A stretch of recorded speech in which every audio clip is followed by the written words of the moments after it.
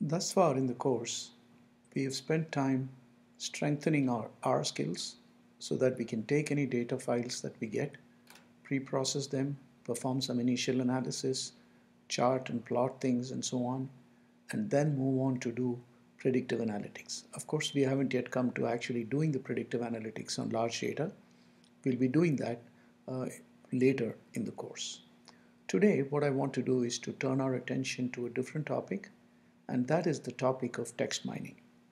Now, when we hear the term big data, we can think of it in two different ways. One is we can think of the of big data as just regular numerical kind of data, tabular data that we are used to, but in huge quantities, huge size, right? So huge quantity of data, 100,000, 200,000, millions, couple of millions of rows, and then we want to do similar things like we have done with tabular data, like regression analysis, classification, clustering, and so on, except that when the data size is extremely large, then uh, packages like R by themselves will not be able to handle it because the data may not fit into memory itself. Now, admittedly, like I pointed out in the beginning of the course, that is a pretty unlikely scenario in most cases. 99% of the time, we're not really going to be able to, or we're not going to have data that actually won't be capable of being processed by our computers, right? So even if you have a laptop with 4 gigabytes or 8 gigabytes of RAM, 99% of the data sets that we'll encounter, we can actually do all the processing simply on our laptops. Okay, so that kind of big data uh, is there. I mean, it's it's definitely handled by companies like Yahoo and you know Facebook and uh, Google and Twitter and Amazon. They do handle that kind of data, uh, but that kind of data is actually quite rare. It's unlikely that we'll encounter that kind of data in our regular life very often. Nevertheless, we'll cover the processing of that kind of data uh, towards the end of the course.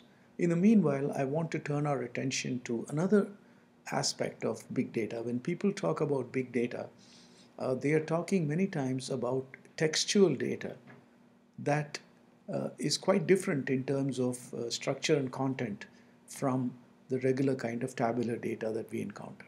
So for example, if you look at the textual customer reviews that people write on Amazon.com or similar sites, or even book reviews that people may write, right? So this is all textual, uh, just paragraphs of text.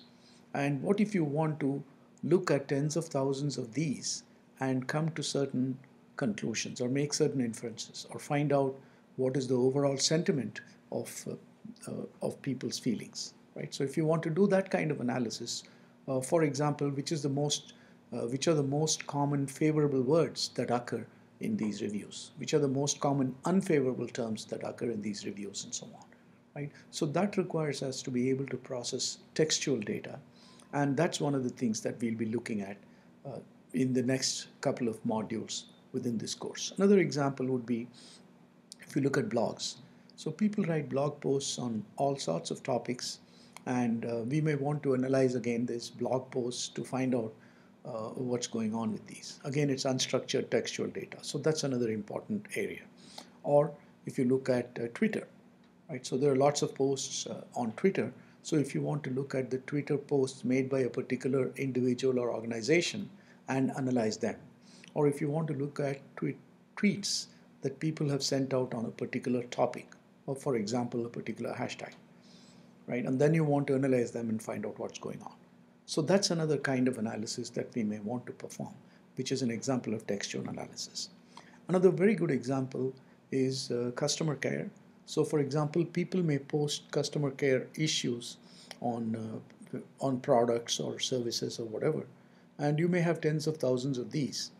And uh, uh let's say these are emails that people have written or uh, issues that people have posted on the website right? So there may be tens of thousands of these issues which are posted. Uh, of course, the company would like to handle all of them, but it may be essential for them to take the most important ones first and handle them, right? So to identify automatically through uh, analytics which are the ones that are most important for them to process first. So that is another important application of text mining. Okay, uh, and finally, if you look at uh, uh, tweets, like I've already pointed out. So that's another thing. uh, and so on, right? So these are emails, for example, customer care or other kinds of emails that you may get, right? So all of these examples that I have given you, they span the realm of text mining, mining data which, which is unstructured and in textual format, okay? And very often when you're dealing with big data, this is one kind of big data processing that's very important and companies are moving towards this uh, quite, uh, quite rapidly. Uh, from our own context in Seton Hall, for example, in the Stillman School, we have a course evaluation system. And of course, all of you are familiar with the fact that at the end of each course, you're asked to provide feedback. And most of it is structured feedback, but there's also a part where you're able to write in, uh, in free text uh, whatever you feel about the course, right? So again, we have uh, 50,000 such free text evaluations which are available with us over the last years, right? So we may want to analyze these and find out uh, what's going on, right? That is, uh, which are the ways in which the school can improve and provide better service to students, right? So that is another important thing that we can certainly uh, use text mining for.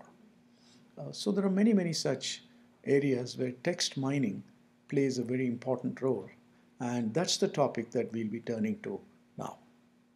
So first of all, uh, before we begin, let's just learn how to, uh, one of the interesting and uh, very, let's say, contemporary topics in text mining is uh, how to get hold of tweets on a particular topic or by a particular person and analyze them.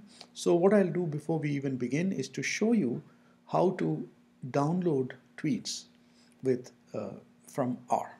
Okay, so let's look at that. Let's look at how to download tweets. Of course, we will I'll only show you right now how to download tweets, but I'm not going to be able to show, I'm not going to show you immediately what, kind of analysis we can perform on that because uh, in order to do that, you're going to need certain skills that I'll be covering uh, in the next couple of weeks. So once we are through with that, you can take these tweets that you downloaded and you will be able to analyze them and do interesting things with them. Okay, uh, so in order to uh, be able to download tweets from Twitter, first of all, you're going to need a Twitter account. If you don't already have one, you should go to uh, twitter.com slash sign up and create an account for yourself. Of course, you should remember your username or Twitter name, Twitter handle, and your password. So do that. Uh, and the next step is uh, in order to be able to download tweets and so on, if you want to just be a user of Twitter who sends tweets, uh, then you don't need to do anything more. You sign up at Twitter and you can go ahead and start tweeting. But if you want to do things like downloading tweets and analyzing tweets and so on, then you have to go to the developer site, uh, sign into the developer site with the same credentials that you created for your, being a Twitter user, right? So you sign into the developer site at apps.twitter.com and sign in with your Twitter credentials. And then you have to create a Twitter app. Okay? Now of course initially when you go to when you sign in you will not have any Twitter apps because you have not created any Twitter apps. You can click on this button here uh, create a new app and create a Twitter app for yourself. Give the app a name and to you know fill up the form and uh, whatever is needed. And then at the end of that process you will see an app that you created of course I'm seeing this app because this is an app that I created earlier right so at the end of this process, you will have a Twitter app. Now, while you're creating an application, it's going to ask you to fill out this particular form, right? So you give your app a name. This name actually is not your name. It's the name of the app that you're creating. A short description. You just put in some description. It's required field as you can see.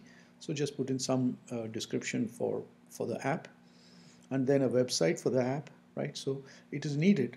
Uh, you may not have any website, so you can just put a placeholder just put, you know put in some some placeholder. It doesn't matter what you put in so long it's it's a valid uh, web address. And then a callback URL which you can leave blank, and then agree to the developer agreement, and then create your Twitter application. So once you do that, you will see this uh, your your application, whatever the name you gave to your application, that's what you'll see. Okay, so that's the easy process to create an application. Now once you create an application, you can then click and go into the application, enter your application, right? And then once you enter the application, you'll be able to scroll down and click on this link for create my access token. Okay, that is, uh, after all, when you're downloading tweets and so on, you will not be doing that directly by going to the Twitter site. Instead, we'll be using an R package to do this, right? So from R, when you connect to Twitter, you have to give certain uh, identifying information, right? So that's what you'll get with this. So uh, if you click create my access token, then uh, it'll create an access token for you and there are two pieces of information that you should note down your consumer key and your consumer secret right both of those you'll see uh, on the screen. Once you create the access token and later on if you go into your application you'll there will be a tab uh, from which you can look at these values at any time. If you want you can regenerate these as well okay? So save these two values consumer key consumer secret uh, and save them for use in R. Next step is you have to, of course, uh, now we are done with Twitter. We have done everything that we need to do in Twitter in order to download uh, tweets. So then now what we are going to do is to get into R and actually go and download tweets. But before you can do that, you have to install this package called rtweet. So you do install.packages rtweet, then do library rtweet, which is to load that particular package. And after that, you enter this command create token app equals and then you give the name of your app whatever name you gave to your app consumer key whatever is your consumer key that you got when you created the uh, key and the consumer secret whatever uh, information you got when you created your application and created the secret tokens right? So once you do that you've got a connection to Twitter. And after that you can just get the tweets by doing get timeline user equals. And here you give the name of the user whose tweets you're interested in. So for example here I have shown you how to get all the tweets that were made by Seton Hall MBB which is our uh, Twitter handle for our basketball, men's basketball. Right? So you say get timeline user equals in this case I'm saying Seton Hall MBB and equals 1000. That's it.